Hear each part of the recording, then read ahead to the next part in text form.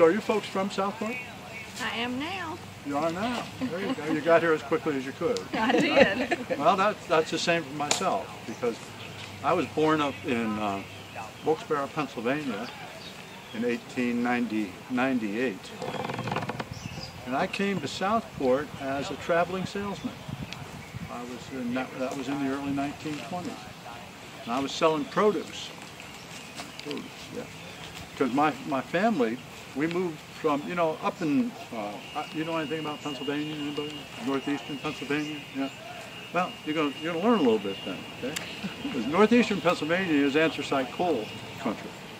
And Wilkes-Barre, Pennsylvania is right in the middle of that. Now, anthracite coal is, is what they call hard coal. Right? And it burns, burns very, very, very pure. It's not all, all smoky like that soft, soft coal.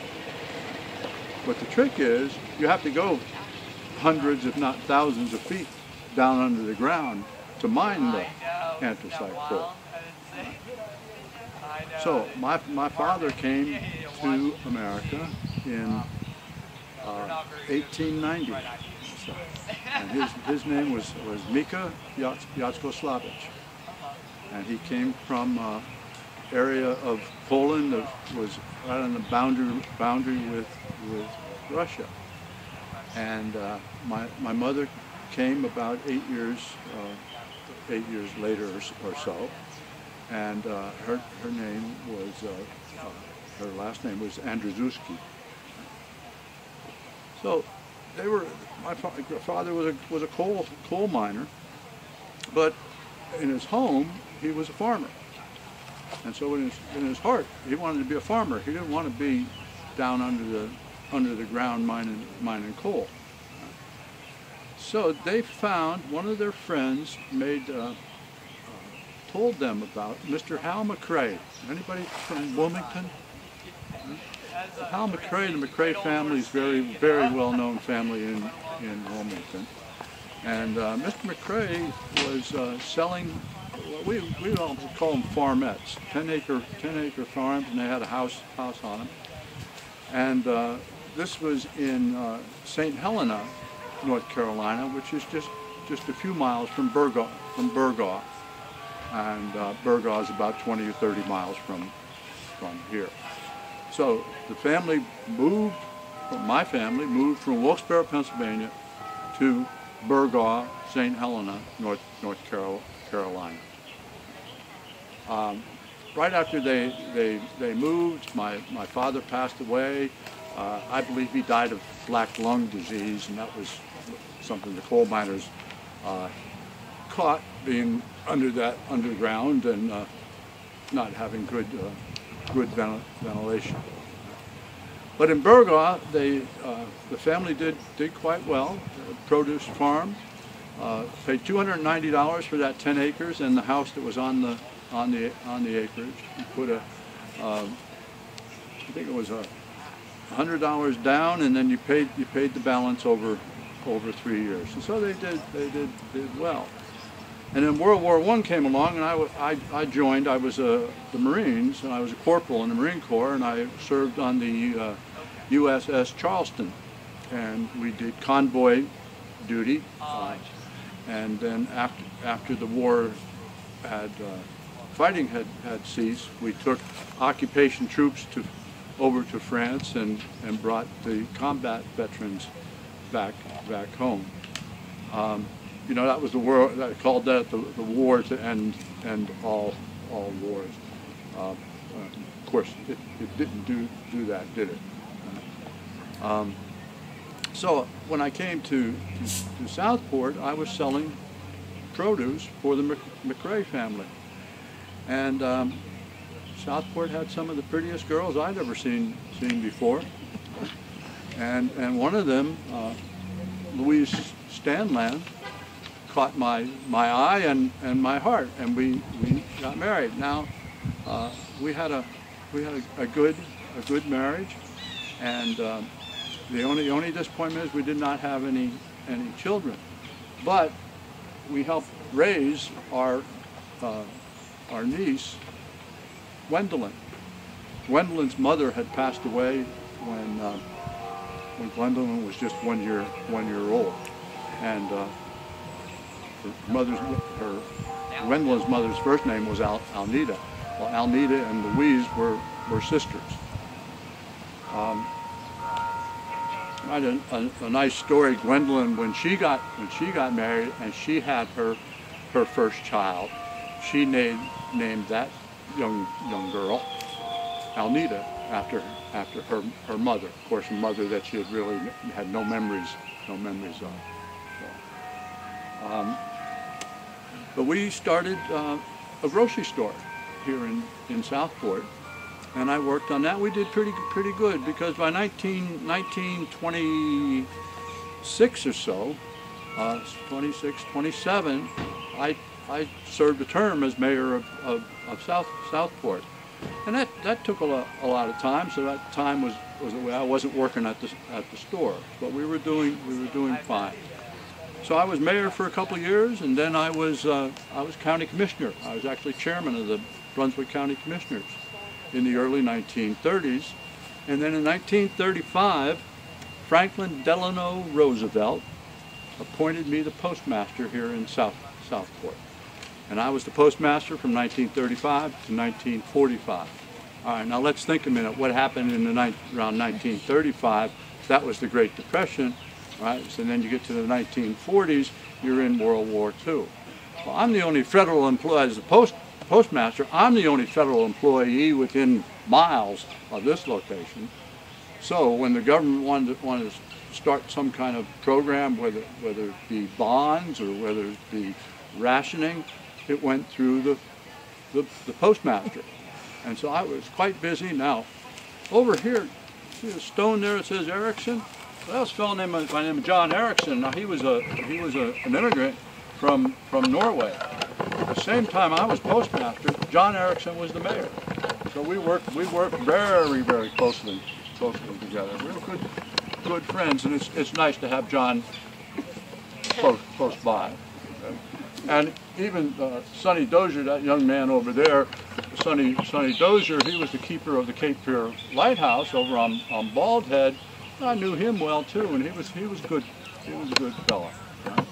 So, as uh, first mayor of, of Southport and then, then the postmaster, I got to, to know a lot a lot of people. The other thing I want I want to mention did I did I mention that I was the best fisherman? I was I I was by far the best fisherman in this part of the of the county. That, that's true. Now, I'll, I'll grant you this. Now, Erickson, he was the captain of a of a Menhaden boat, of a pogey pogey boat. So when he brought when that boat came in, that catch was a hundred thousand or two hundred thousand fish. Now, I'm not talking about that kind of fishing. I'm talking real fishing. You got to go out and you know you got to work at it a little a little bit, right? But I was I was the best best best fisherman. Um, not you know not bragging, just just. Um, so you know, I want to step back a little bit. I got a little bit ahead of myself. I, uh, you know, I wanted to tell you tell you a little bit about um, how happy I was always was and my family was to be here in in North Carolina as um, a uh, Russian immigrant, Polish immi- immigrant uh, on both sides. Of, my, my mother was Polish, my father was, was Russian. That was a, that was a hard hard time to come to the United United States. Uh, you know, uh, they called us hunkies. Well, hunky means someone from Hungary, but they didn't know. They all, you know, they didn't know. They just they just threw us all all all together, and they they didn't think um, we were good enough to be American citizens. In fact, the head of, of U.S. immigration of that time, I think it was about 1923, he actually actually said that the immigrants coming in now, and I'm meaning the immigrants from from southern and eastern Europe, are not of the same quality as the as the earlier immigrants who came from northern and western western western Europe, um, and that they were ruining the culture of of America of America. So it was it was a was a tough time, and it was very. Uh, we loved it down down here in the Carolinas. Not not that the the folks in, themselves in, in Pennsylvania were were nasty. It was the some of the the officials. They, they didn't want you know they wanted you to work those coal mines, but heaven forbid that you you buy a house. How can you have? How can you buy a buy a house? It was a there was a lot of lot of lot of prejudice there. So it was very um, very a very good move for for my family here. Um, I did a, I did a lot of. Um, did I tell you I was the best fisherman? So I did a lot of fishing, right? but I did a lot of um, um, volunteer volunteer work. So in, in, in addition to being a mayor and a county commissioner and the post, postmaster, I was uh, involved in many activities. But the activity that I most uh, I'm, I'm proudest of is I was the chairman of the what is now the J. Arthur Dosher Memorial Hospital. I was chairman of the of the board of the board of trust, trustees, and at that that time, and this was in the late 1930s, we took that hospital from being a county facility to being a, hospital here in South Southport, and a lot of that had to do with uh, the physician. Uh, J. Arthur Arthur Dosher that the hospital is now now named after, and uh, is, is still an important part of, of life in in Southport. So to me, that was probably the most most important thing I did, and I I hope you I, I hope you all appreciate it. Now here. We did. We did. Any any questions you might want to ask about that time in in Southport? Or? What kind of fish did you catch and eat? Catch? Well, you know, you kind of get all smallmouth bass, largemouth bass. You know. Okay. You know, you go out in the you go out in the swamps. You know, and people say, "Well, I can't go out in the swamp. There's an alligator out there." There's an alligator. There's construction law on it. There's no no no problem. You want to you want to catch a good fish. But I also tell you, I was I was a great baseball player. Did I forget to mention that? they're still talking about me be up there in Wilkes-Barre, how good a baseball player I was. And my wife and I, we took a we took a one month vac kind of that was 1929. We took our Essex automobile and we went from here to Southport up to Wilkes-Barre, so my wife Louise could meet could meet all, all of her all her relatives, all my my relatives. And Louise was just absolutely shocked because I had more relatives up in Wilkes-Barre than there were people here in South Southport at that, at that time. So, boy, we had a we had a good time on that on that, that trip. How long did it take to drive from here to Wilkes-Barre? Long time. and a flat tire or two or three or four. Yeah. That was quite that was quite a quite a trip. What was the population of Southport? The early 1900s. Um, what would we guesstimate guesstimate here about about a, a thousand. Um, about 60% white, 40% black. Maybe maybe a little higher than the, than the. Thank you.